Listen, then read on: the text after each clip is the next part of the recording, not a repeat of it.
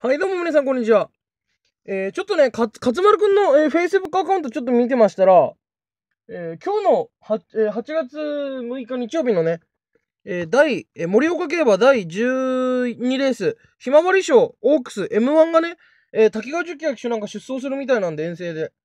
まあ、その他ね、えー、金沢競馬にも、え、8日の火曜日に行くみたいなんでね、まあちょっと、えー、予想動画出しながらね、えー、ちらほら、やっていきたいなと思ったんですが、えー、ちょっと岩手競馬でトラブルが発生しております。え、1レース、え、C2、16組、がね、今これ映像なえ出してると思うんですけど、え、これのレースから、これが1レースなんですが、ちょっとトラブル発生しております。え、一応天候晴れ、馬場、ダート、量、芝、両方とも量なんですが、えー、多分ね、1レース走るときのお知らせ、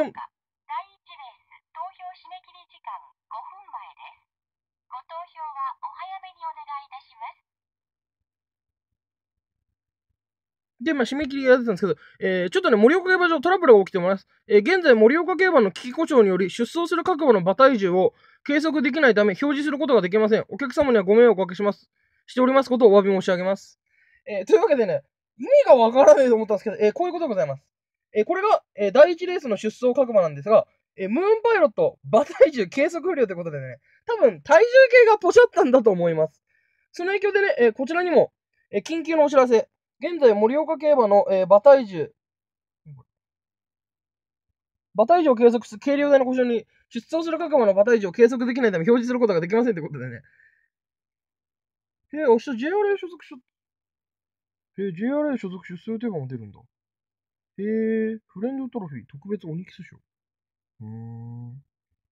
お、なるこちゃん来んじゃん。あ、岩田も来る高松亮って？高知か？あ、違う、あれか。高松亮どこの記者だ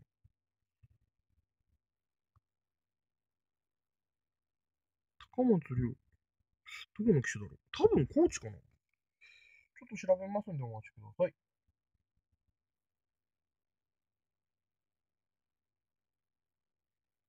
えー、とりあえず、えー、今のところね、全レース、まあ、多分、馬体重出れないと思うんで、まあ、ちょっとね、オッズも、えー、わからないんですが、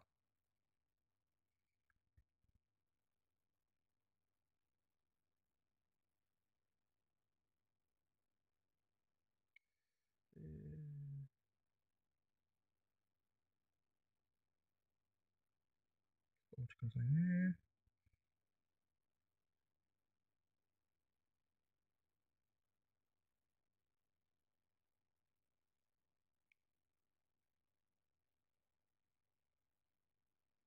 まあ、あとちょっとでね、第1レースが締め切りみたいな、その発送の時にね、アナウンスでも流れたらいいんですけど、流れねえのかな？わかんない。ちょっと。してもいかんせんスマホが重いな。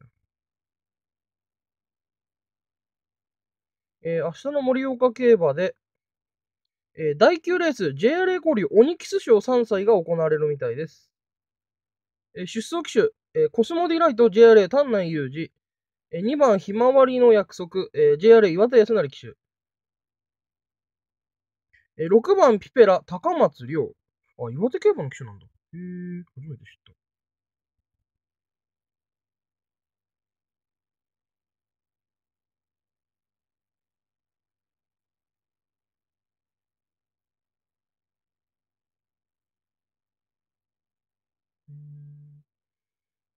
で、えー、6番、ピペラ、えー、高松亮、えー、7番、ウィンスーペリア、村上忍、9番、ウィンラビベル、藤田七子、えー、12番、デコラス、山本俊也、以上になっております。盛岡、第1レース、投票締め切り時間となります。締め切りブザーと同時に発売が停止しますので、ご了承ください。えー、藤田七子騎手が乗るね、ウィン、エラビベル、芝のレースか。ってことはこのレースも芝か？えー、芝1700メートル左か。うーん、となるとひまわりの約束有利そうだな。まあそろそろ9月に入るんでね。まあ、勝たないと JRA はね、クビになっちゃって、全国各地の地方に落とされるか。まああとは、えー競争生命自体はね、終わるかなんでね、まあちょっと、えーきついかなと思います、正直。で、えー1レースがね、終わり次第、えー予想動画もね、ついでに一緒に出してしまうんで、11レースの、えーオークスの。えーぜひね、そちらの方までちょっとお待ちください。まもなく盛岡第1レース投票締め切り時間となります締め切りブザーと同時に発売が停止しますのでご了承ください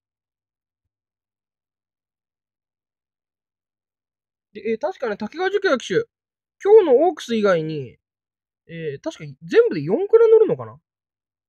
まあ、ちょっとね、乗る馬も各紹介していきたいと思います。えー今日高知競馬もやってるんだ。川崎どこ発売してんのかな？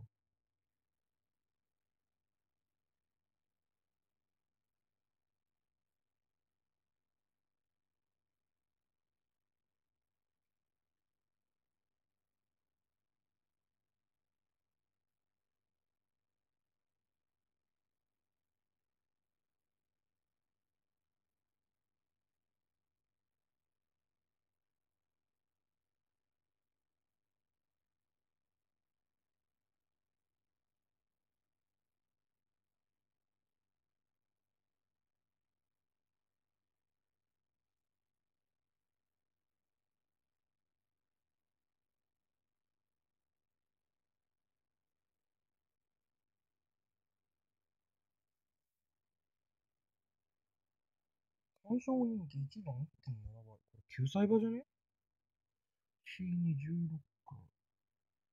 お、9歳馬だ。ムーンパイロット。うん、3戦連続3着か。騎手は誰これ？南郷火前。面白い名前。2番人気が7番、4.2番。あ、これ3.8番だった。セイブアース。うん、ここ金層4着5着か。うん。6番が人気薄か。クリニャンクール。よし、締め切っ。た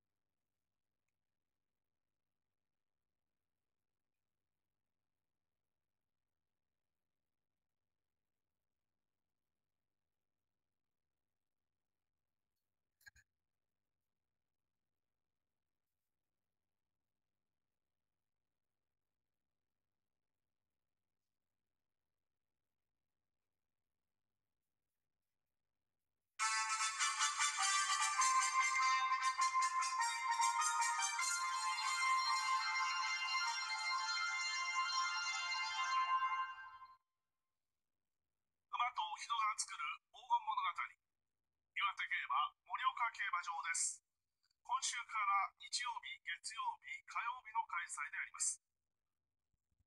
第6回の開催の今日初日は日曜日全12レース天候は晴れ馬場コンディション芝田とともに量1レース C2 クラス16組8とゲートに収まります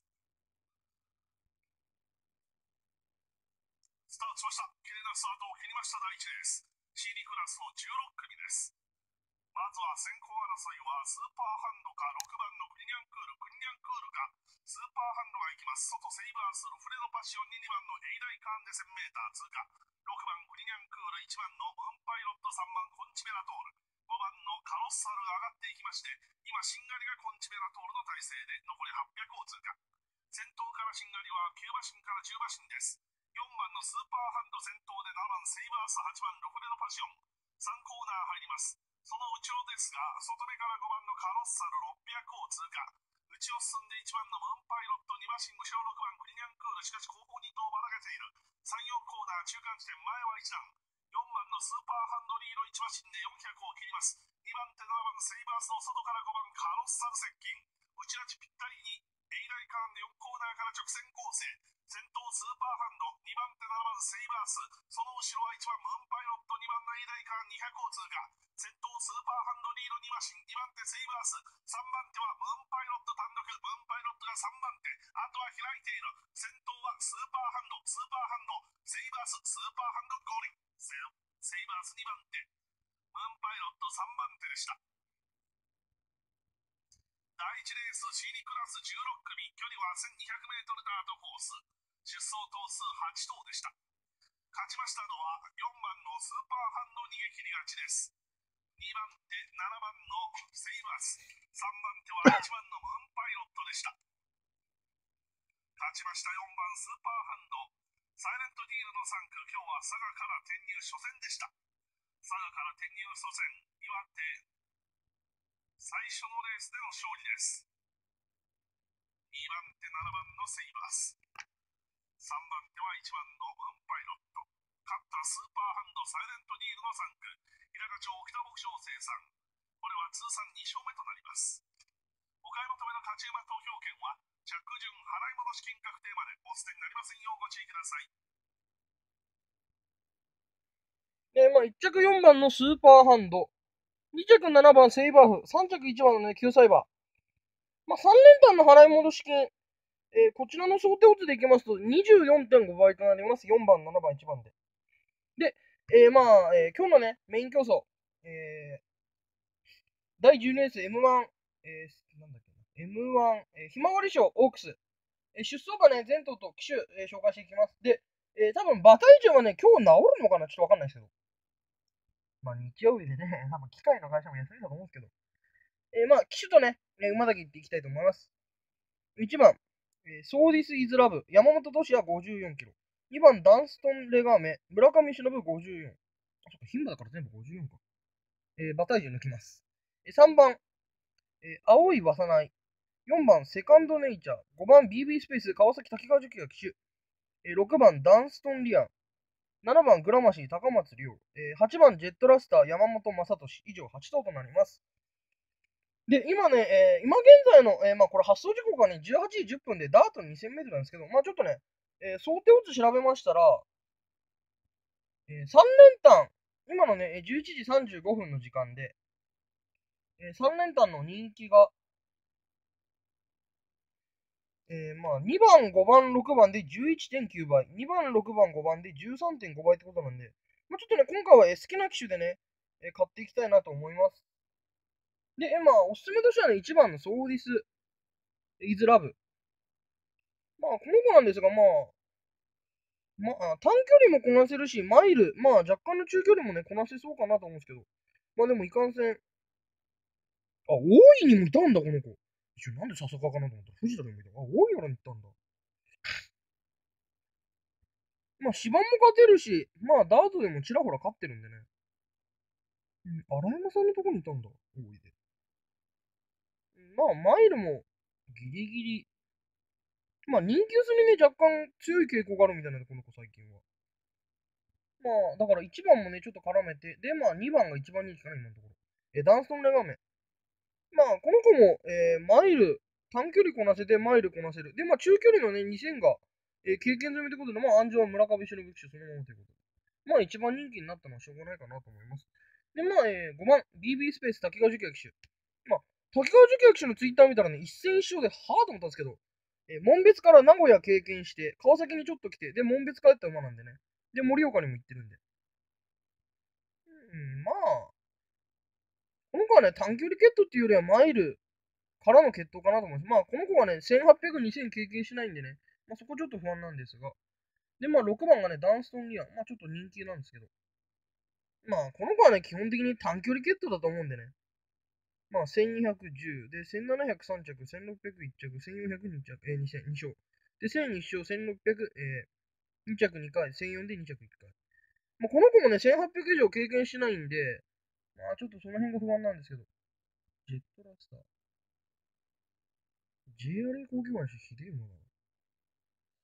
ってわけなんでね、今回正直、まあ偏見ですが、え3連単、え1番、2番、5番から、え2着に1番、2番、5番、3着に、1、2、5、で、ついでに6入れてみたいと思います。まあ、正直、5、6がね、距離2000をまだ未経験ということで、まあ、正直2000経験済みの、え2番、ダンストンレガーメン。で、えー距離2006着、岩手ダービーってこの子あ、両方とも岩手ダービー出てんのか。で、あと岩手ダービー経験してる、えー、1番の、ソーディス・イズ・ラブ、えー、安城山本俊明手。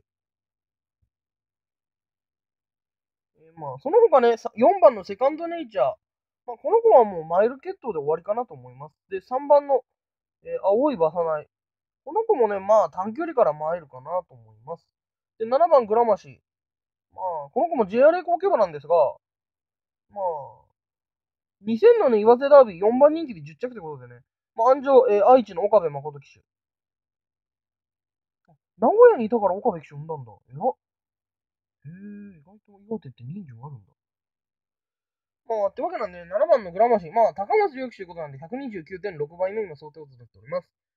まあ、一応ね、1256で勝って、まあ、多分赤字となりますが、まあ、56がね、ちょっとどうなるかわかんないっていうのが本当にあれなんで、まあ、6のね、ダンストン・ニアンは、まあ、短距離決闘だと思うんで、今回2000はね、正直きついかなと思います。まあ、短距離からマイル行っても1005ぐらいまでかな。ってわけなんでね、プラス500としてもちょっときついかなと思います。で、まあ、えー2000を経験している1番、2番。えその辺がね、どうこのレースを引っ張っていくかがね、正直ちょっと気になります。1番のソーディシーズラブはね、まあ、先段につけたり後ろから行ったりする馬で、えダンストンレイワーメン2番の、え村上忍騎手。まあ、この子もね、えー岩手ダービーに関しては後ろから行ったんで、まあ、ちょっと伸びずだったんで、多分今回はまあ2000他に走ってる馬がね、3頭しかいないんで、多分1番、2番がね、花切るのかなとは正直思っております。まあ、それか先段につけて、まあ、前から3番手、4番手ぐらいにはね、なるのかなと思います。で、まあ一応、えー3連単としましては、125、125で3着に1256としております。まあ予想としては。えーで、岩手競馬やる、えー方、えーご注意ください。えー現在、盛岡競馬の危機故障により、出走する各馬の馬体重を計測できてないため表示することができません。っていうね、注意書き出てるんでね。え2レース C2 の15組。えーダート 1200m 出走8頭もね、軽装不良となってるんでね、えーご注意ください。この先どうなるか本当にわかりません。誰高橋って女高橋面白いな。えーで、その他、滝川樹也騎手、えー今日の岩手競馬に関しましては、えー6レース、8レース、9レースに出走予定となっております。えー6レース C2、C2 の C2。えーモント号で単勝は8.3倍。JRA 高級馬か。で、8レース、えー、3ゴールド賞3歳 B21 組。これは、えー、51.2倍、クムガン。うん、なるほど。なんとなくわかるわ。えー、で、9番、ジェイド賞 B22 組。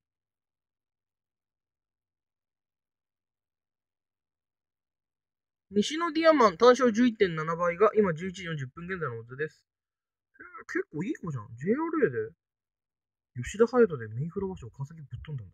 ぶっ飛んだでもねえか。12番人気12、12着か。で距離は1600か。まあ正直この、えー、まあ当初がね全部で11頭いるんですが、えー、第9レース。えージェイド賞 B22 組。ちょっとね、竹川十騎手の馬、えー西野ディアマン。まあちょっとね、マイルの1600の距離、まあこなせたりこなせなかったりなんでね、まあ正直ちょっと期待はしたいかなと思います。まあ安城も村上忍騎手、山本騎手、まあ一流な騎手が乗ってるんでね。まあ樹騎手も、まあ南関東で言うとちょっと下になっちゃうんですけど、川崎の中ではね、もう、トップの方の腕なんでね。まあ、若いっていうこともあって。まあ、ただいかんせん、手首骨折してからね、まあ、どうなったかっていう心配があるんですけど。1995年、若っ !22 か若っえというわけなんでね、今一応、えー、岩手競馬竹川樹騎手は、えー今日4クラとなっております。で、えー8月8日の大井競馬かなあ、船橋か。えー船橋競馬の最終日もね、えー金沢競馬で樹騎手走るんで、またね、いいレースだったら、えー予想動画ね、当日か前日出したいと思います。えー岩手競馬やる方、馬体重がね、測れないんでね、ご注意ください。ではまた次回の動画でお会いしましょう。ありがとうございました。